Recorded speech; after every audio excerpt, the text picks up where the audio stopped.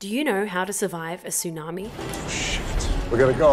Water being pulled out like that's a tsunami. Beyond knowing the signs, avoiding the coast after an earthquake, running to higher ground, and holding on for dear life, there isn't much you can do if you're in the wrong place at the wrong time. But one company in New Zealand is working on a backup plan. This multi purpose pod by Dreadnort Boats was initially conceived as a tsunami survival shelter. POD stands for Points of Difference, and it really is something else. Made of marine grade aluminium plating with windows of toughened safety glass, the pod can seat 12 adults, and it's also equipped with 150 watt solar panels. The company is quick to point out the current prototype could not actually handle a full blown tsunami.